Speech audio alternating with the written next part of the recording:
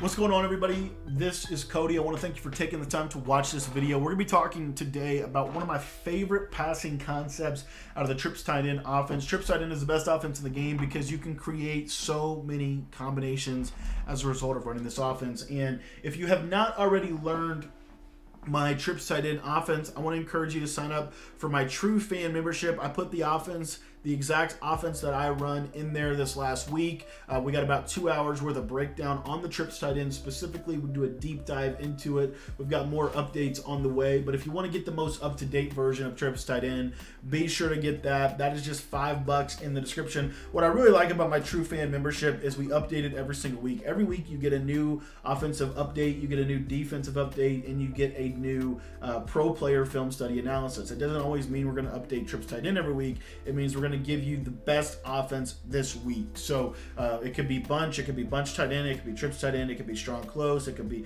whatever it might be. Same thing with defense. We're going to go over double A gap. We're going to go over three through five, three through five wide. Like you get everything with this um, membership. It's so, so uh, important that you sign up. So if you consider yourself a true fan of the channel and you really want to get better at Madden, this is going to uh, be good for Madden 21. It's also going to be good for Madden 22. You can sign up down in the description to support the channel. It's just five bucks a month. And what we do is we literally go super, super deep into it. Uh, really, really good material. A lot of people have enjoyed it, and I would encourage you to sign up. We are capping this, so it's not unlimited capacity. So make sure to get your spot saved and get signed up immediately. All right, guys. So what we're going to talk about in this video is we're going to talk about the play PA slot corner.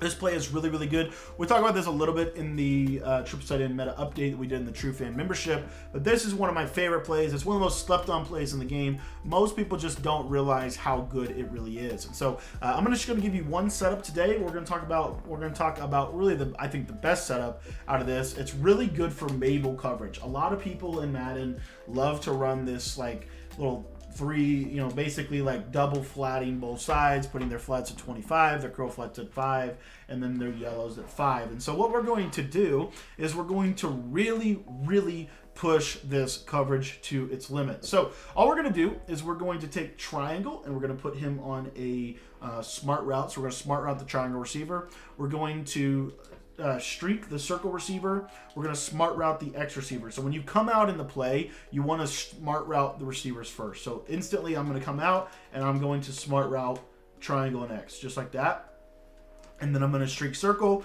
And the last thing that I want to do is I want to streak the running back out of the backfield. It's really, really important that you do this adjustment because our first read on this play is always going to be the X receiver, the tight end. Against Mabel coverage, when you streak that running back, it is absolutely impossible for them to be able to stop that. It's it literally, literally what this is is it is a slant out. Like 100%, this is a slant out from Madden 12 or from Madden 13. Uh, I think Madden 13 ended the slant outs, but this is a slant out from Madden 12. That's literally what it is. Um, it's impossible. It's so hard to guard this route. Like I can't even tell you how hard it. I just look at that. I mean, just dot every single time. It is really, really consistent and really, really simple. And so what it's going to force the defense to do is it's going to force the defense to have to do a defense essentially like this right here, where what they've done is they've taken the tight end and they have um, they put that hard that flat out there. The cool part about this is you can actually lowball that under underneath the flat. But what's going to happen as a result of that um, as a result of that adjustment where we got cover two now on that we've got basically cover two on the right. Now what we're going to be able to do um, is we are going to be able to really work this left side. So we know from pre previous um, you know experience with trips tight end that their user is more than likely going to be kind of in this little pocket right here. And so it's it's very likely because we've got that running back route up the middle um, it's very, very likely that they are going to want to user the running back. It's the route we want them to user because what's going to happen here on the back side of the play is this triangle route. When we step up in the pocket, we've got an automatic laser to the triangle route. Very simple. And what we've basically created is a very nice little natural uh, high-low on the back side. Now, if they run over to the triangle receiver with their user at the snap of the ball, so basically they're going to basically say, I'm not going to worry about the, the tight end side. And they do that, then this running back streak opens wide up in the pocket. Very simple. What this is going to force them to do is it's going to force them to double uh, yellow zone. So I want to show you what that would look like. So this is two yellow zones. Okay. We've got essentially this concept right here. And then our user, we're just going to put him in the middle of the field. And what this is going to allow us to do uh, offensively now is now we're going to continue to read the high-low. The yellow zone is going to sit on the drag, but as you can see, we've got the nice post in behind it.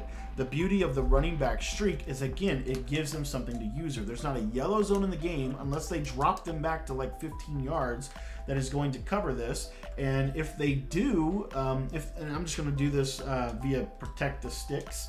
So I'm going to hit uh, protect the sticks here. And what you're gonna see is we're gonna put our yellows out there, okay? And I just want you to watch what all these yellows are gonna do. So uh, we've set up our play right there. That's what the play should look like. Snap the ball, and I want you just to watch. You see this triangle route still gets up over the, it still gets there. They have to put a zone drop on that hook to like 15 yards. So the cool part about this is you've really spaced the field well. That's the beauty of this play.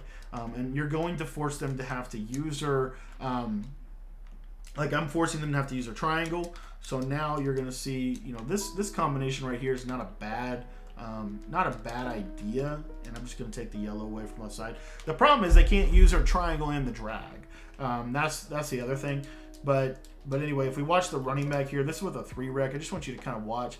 Just look at the look at where the the running back. See, just oh, he's basically open the entire play with this, and that's what's really really cool about this concept. They they can't stop both sides. They have to choose, and we're really capitalizing on the seams out of this. So uh, let me show you. Let me show you a you know just kind of another version of the same thing. So ideally, they are going to want to sit on that triangle route. So if they man up the running back, okay, that could be a potential option. So because um, I just want to give you everything that you can see. So what they're going to do is they, they might do this. They might go essentially like this. They might say, okay, we're going to do uh, man coverage on the running back, right?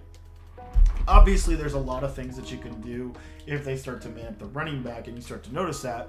But the biggest thing is if you watch how this works, you still have this high low on the right. You still have this high low. The drag is your check down, really simple. So there's a lot to guard in this play. PA slot corner is one of the most versatile and one of the most consistent plays year in and year out.